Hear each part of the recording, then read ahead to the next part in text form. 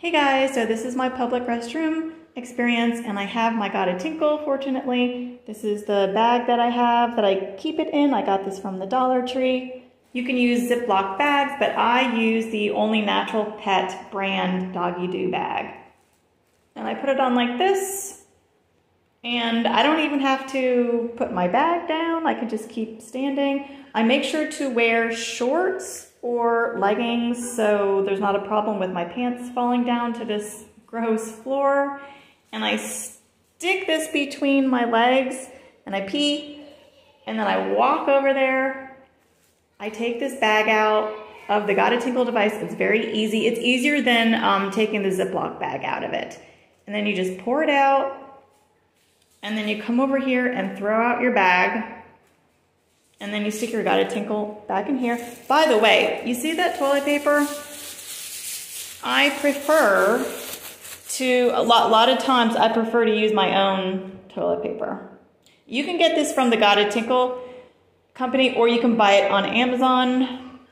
Now sometimes I do want to take things off and have hanging, but sometimes the restroom doesn't have it. They, they only have that. They don't have hook. But I bring this, it's from Walmart. You can get it in like a six pack. Um, and I just hook it on there and I can hang anything I want.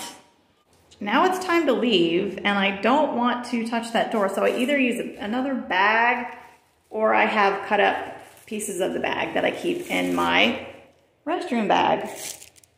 Hey guys, welcome to my channel. Here on YouTube, I provide you with how-to videos, hacks, and videos on very useful products. So if you want to continue to get my content, make sure to subscribe. Okay, so these are the four essentials for my restroom bag. The Gotta Tinkle device, the Doggy Doo bags. I only use this brand, Only Natural Pet, because the other brands have a toxic-like odor. I get these on Amazon and PetSmart. There's the TP, and then this is apparently called a closet hook. I got this in a six-pack at Walmart. I think it's like in the laundry aisle or something like that. Um, this is so funny. I, I assumed that this part would go over the bar, but I saw a picture where this part was over the bar. And so they're saying that the rubber stub keeps the clothing on. So it's always easy enough to just pee inside of a cup if we had the room to tote this around in our backpack. But if you do have the room, you can get this at a gas station at like the soda fountain area. Um, this I got at 7-Eleven. It is the Big Gulp Double Extra Large. It's 50 ounces. You can probably get away with the extra large, which is the 40 ounces. You can even put, you know, a doggy do bag in here to pee to if you want to reuse this. You can get a better looking one probably at another gas station.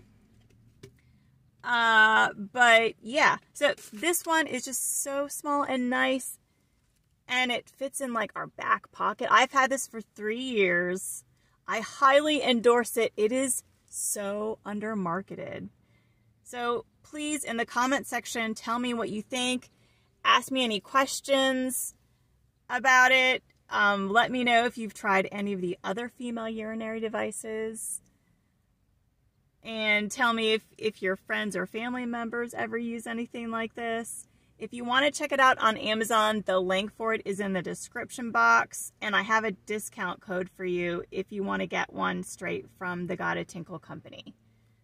Now the problem with using um, like one of the really popular female urinary devices like the the P-Style and the Go Girl, you have to go up to the toilet and stand right in front of it. And the spout is so short. I've tried both of them, okay?